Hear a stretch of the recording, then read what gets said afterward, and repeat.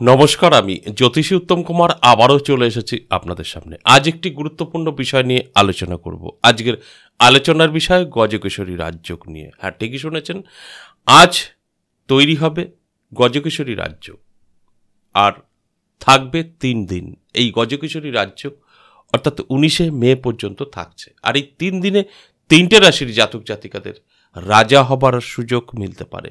এই নিয়েই আজকের আলোচনা। তার আগে প্রত্যেকটা দিন যে কথাটা বলি, আজও সেই একই কথা বলব।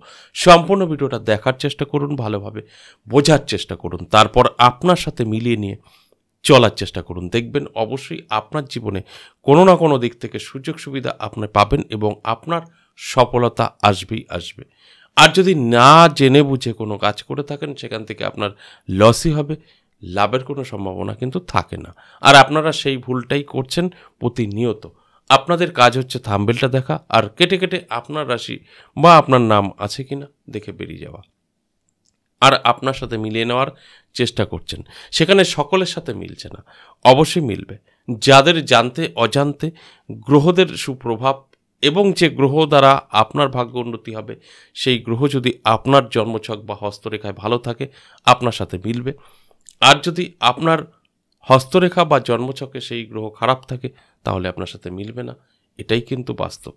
আর এটাই ঘটছে। আর আপনারা তখন যখন বুঝতে পারছেন না যে কী কারণে আপনার সাথে মিলছে না, তখন অ্যাস্ট্রোলজি সম্পর্কে ভুল ধারণা তৈরি হচ্ছে। তাই আমি প্রত্যেকটা দিন বোঝানোর চেষ্টা করি আপনাদেরকে যে আপনার রাশি থাকলে, আপনার নাম থাকলে আপনার সাথে মিলবে না। আপনার সাথে তখনই মিলবে যখন গ্রহ নক্ষত্র আপনাকে সাপোর্ট করবে। তাই গ্রহ নক্ষত্র কতটা আপনাকে সাপোর্ট করছে সেটা দায়িত্ব আপনার মিলিয়ে নেওয়া। কারণ আমার এখানে সম্পূর্ণ অ্যাভারেজ হিসাব এবং সর্বজনীন আলোচনা। কোনো ব্যক্তিগত কারোর জন্মছক বা হস্তরেখা বিচার বিশ্লেষণ করে আমি আলোচনা করছি না। তাই এখানে আপনার সাথে মিলবেই কথাটা আমি বলতে পারি না। তবে অবশ্যই মিলবে যাদের সব ঠিকঠাক থাকবে। ঠিকঠাক থাকলেই মিলবে, ঠিকঠাক না থাকলেই মিলবে না। এটা কিন্তু বাস্তব। আর এই অতি সত্য কথাটা মানতে অনেকেরই কষ্ট হয়। কিন্তু হয়তো প্রথমে আপনার খারাপ লাগবে, পরে বুঝতে পারবেন যে না, আমার রাশি যতই থাকুক না কেন, আমার তো গ্রহ ভালো নেই, তাই মিলছে না। আর যদি আপনি না জানেন, তাহলে কিন্তু আপনি মনে একটা কষ্ট পেতে পারেন যে আমার রাশি আছে, আমার সঙ্গে কেন মিলল না? নানা রকম চিন্তাধারা আপনার মধ্যে আসবে। তাই আমি সঠিক হওয়ার জন্য সবার প্রথমে এই একটা কথাই বলি, ভালোভাবে বুঝুন, তারপর আপনার সাথে মিলিয়ে নিয়ে চলার চেষ্টা করুন। কোন কোন দিকগুলো মিলাতে বলি ঠিক এই দিকগুলো। অর্থাৎ যে গ্রহ দ্বারা আলোচনা হয়, যখন যেদিন যে বিষয় নিয়ে আলোচনা করি, কোনো না কোনো গ্রহ তো অবশ্যই থাকে। সেই গ্রহ যদি আপনাকে সাপোর্ট করে, আপনার ভালো থাকে, আপনার সাথে মিলবে, তা না হলে মিলবে না। এটা একদম পরিষ্কার হিসাব। আর আপনার কি কর্তব্য? ভিডিওটা দেখছেন, শেষ করার পর আপনার জন্মছক বা আপনার হস্তরেখাটা একটু মিলিয়ে দেখা যে, আদৌ এই গ্রহ ভালো আছে কি? যেরকম আজকের আলোচনায় দুটো গ্রহ আসবে। যে দুটো গ্রহ একত্রে এই গজকিশোরী রাজ্য তৈরি হবে, আজই কিন্তু তৈরি হবে। এই যে আজ তৈরি হবে এবং উনিশ তারিখ পর্যন্ত থাকবে, কীভাবে তৈরি হলো বিস্তারিত তো অবশ্যই জানব। দেখুন, এই যে গজকিশোরী রাজ্য এটা তিন দিন থাকছে, অর্থাৎ আজকে, কাল এবং পরশু, উনিশ তারিখ পর্যন্ত। এই তিন দিন তিনটে রাশির রাজ্য তৈরি হচ্ছে এবং রাজার মতো কিন্তু থাকতে পারবে। এবার এই রাজযোগটা কীভাবে তৈরি হচ্ছে একটু দেখি। দেখুন, আজ চন্দ্র, সে কিন্তু রাশি পরিবর্তন করবে। মীন রাশি থেকে বেরিয়ে মেষ রাশিতে প্রবেশ করবে। আর মেষ রাশিতে আগে থেকেই বসে আছে কিন্তু দেবগুরু বৃহস্পতি। আর যখনই দেবগুরু বৃহস্পতির সাথে চন্দ্রের সাক্ষাৎ হবে, তখনই তৈরি হবে গজকিশোরী রাজযোগ। আর এই গজকিশোরী রাজযোগ সম্পূর্ণভাবে এই তিনটে রাশির জাতক জাতিকাদের জীবন কিন্তু বদলে দেবে। আর এই যে গজকিশোরী রাজ্য তৈরি হচ্ছে কোন গ্রহ দ্বারা, তাহলে চন্দ্র এবং বৃহস্পতি। এই দুটো গ্রহ আপনার ভালো থাকতে হবে। তবেই আমার আজকের আলোচনা আপনার সাথে মিলবে। আর এই দুটো গ্রহ যদি খারাপ থাকে, তাহলে আপনার সাথে নাও মিলতে পারে। কারণ যে গ্রহ দ্বারা আপনার ভাগ্য উন্নতি হবে, সেই গ্রহ ভালো ফল অবশ্যই আপনার উপরে পড়তে হবে। বা সুদৃষ্টি থাকতে হবে, তবেই কিন্তু তার সফলতা আপনার জীবনে আসতে পারে। আমি প্রত্যেকটা দিনই সেম কথা বলি।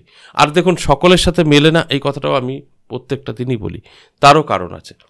দেখুন সেম রাশি কয়েক হাজার কোটি জাতক জাতিকাদের থাকে। প্রত্যেকের সাথে কখনো মিলতে পারে না, ভালো কিছু হতে পারে না। কেন বলেন তো? গ্রহ কখনোই সকলের ভালো থাকে না। তাহলে তো একটা পাল্লা হয়ে যেত। সকলেই ধনী হয়ে যেত না সকলেই বিক্রি হয়ে যেত। এই যে বড়লোক গরিব, মধ্যবিত্ত, নানান রকম আমরা দেখতে পাই। কেউ খাওয়া পাচ্ছে না, কেউ ভালো মন্দ খাচ্ছে, কেউ সাত দিনে দুদিন খেতে পাচ্ছে, কেউ খাবার নষ্ট করছে। এই যে ফারাকটা, এগুলো কেন? সমস্ত কিছু গ্রহ নক্ষত্রের উপরে। তাই কিছু জাতক জাতিকাদের গ্রহ সারাটা জীবনই ভালো ফল দেয়, আর কিছু জাতক জাতিকাদের সারা জীবনই কিন্তু তারা কষ্ট, দুঃখ করে যায়। তাদের গ্রহ কখনো ভালো থাকে না। তাই যাদের ভালো থাকে তাদের মিলবে, যাদের ভালো থাকে না তাদের মিলবে না। এটা আমি প্রত্যেকটা দিনই বলি। আর আদৌ আপনার গ্রহ কতটা সাপোর্ট করছে, ভালো ফল দেবে কি না আছে কি না ভালো, সবই জানতে পারবেন যখন আপনি আপনার সাথে মিলিয়ে নেবেন। কীভাবে মিলিয়ে নেবেন আমি কিন্তু প্রত্যেকটা দিনই বলি, যেরকম আজও বললাম। তাই এইভাবে যদি মিলিয়ে নিয়ে সঠিক হয়ে এগোতে পারেন, সেখানে লসের কোনো সম্ভাবনাই নেই। এবং জীবনে সফলতা থাকছে। তাহলে এই যে আজকের আলোচনা গজকিশোরী রাজ্যক আর এই গজকিশোরী রাজ্যক আপনার ভাগ্যকে বদলাবে, এতে কোনো সন্দেহ নেই। কোন কোন দিক থেকে সফলতা আসতে পারে সেদিক থেকে কিছুটা ধারণা দেওয়ার চেষ্টা করি। দেখুন, আপনার প্রচুর আর্থিক উন্নতি হতে পারে। রাজার মতো থাকবেন, রাজা হবেন, তার মানে বুঝতেই পারছেন, রাজা মানেই কিন্তু সব দিক থেকে শক্তিশালী হওয়া উচিত। সেদিক দিকটা আপনাদেরও কিন্তু ঘটতে চলেছে। অর্থাৎ আপনার মান যশ খ্যাতি প্রচুর বাড়বে, আর্থিক উন্নতি হবে, আর্থিক দিক থেকে শক্তিশালী হবেন, তার সাথে সাথে আপনার জ্ঞান এবং বুদ্ধি তীক্ষ্ণ হবে। আর সব কিছু যখন ঠিকঠাক থাকবে, তখনই কিন্তু আপনার জীবনে সফলতা আপনি উপলব্ধি করতে পারবেন।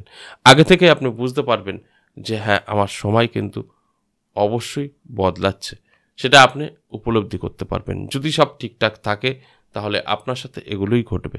তার সাথে সাথে আপনার স্বপ্ন পূরণ হবে, স্বপ্ন যত বড়ই হোক না কেন।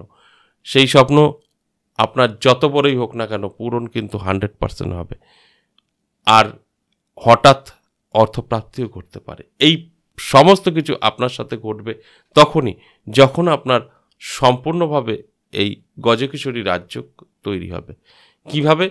যেটা বললাম চন্দ্র এবং দেবগুরু বৃহস্পতি যদি ভালো থাকে, আপনার কিন্তু এই গজকিশোরী রাজ্যকে ভাগ্য চমকাবে। নানা দিক থেকে সফলতা আপনার হাতে এসে ধরা দেবে। তাহলে আসুন একে একে সেই রাশিগুলোর কথা বলি। যে তিনটে রাশির জাতক জাতিকাদের হান্ড্রেড পার্সেন্ট সফলতা থাকছে এই গজকিশোরী রাজ্যকে।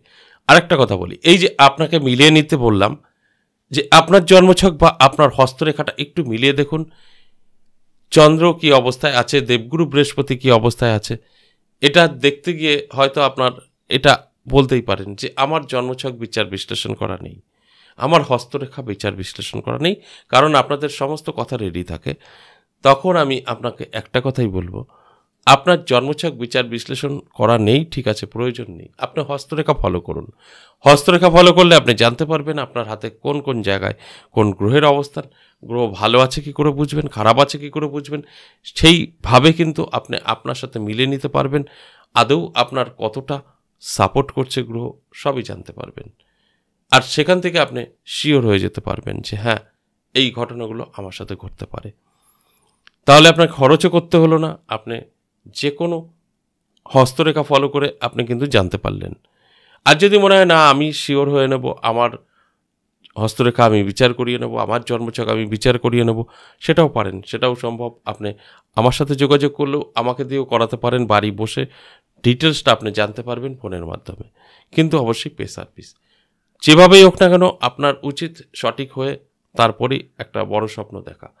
আর এই যে গজকিশোরী রাজ্যকের কথা বললাম, মাত্র তিনটে দিন। এই তিনটে দিনে আপনার জীবনে পরিবর্তন আসবে সেটা অবশ্যই ফাটকা এবং হঠাৎ প্রাপ্তিতেই আপনার জীবনে এই এত তিনটে দিনে, এত শর্ট সময় আপনার জীবন যদি পরিবর্তন হতে হয়, তাহলে এটা অবশ্যই হতে পারে, ফাটকা থেকে অর্থ আসতে পারে। তাই চোখ কান খোলা রাখুন, অ্যালার্ট থাকুন।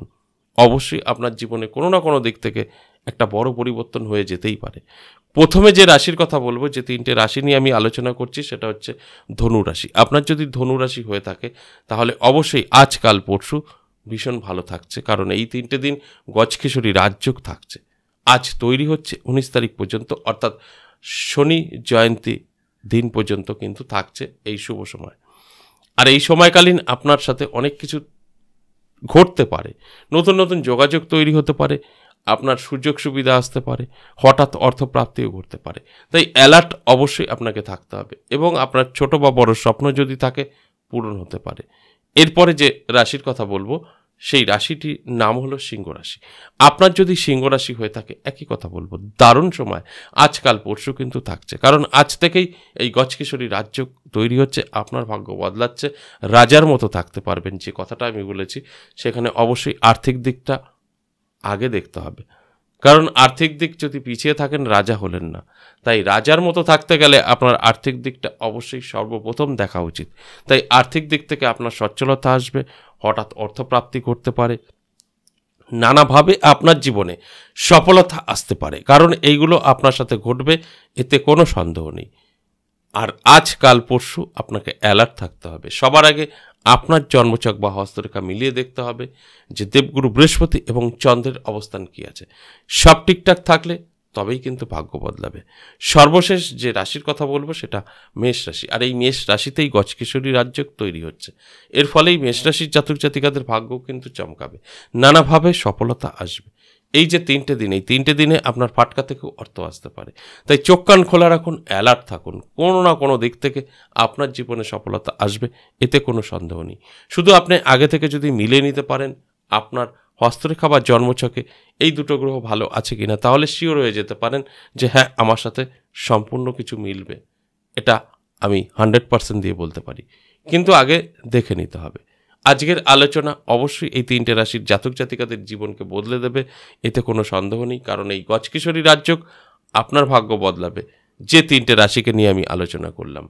আজ এ পর্যন্তই আবারও আসব। নেক্সট ভিডিও নিয়ে ততক্ষণ ভালো থাকুন। নমস্কার।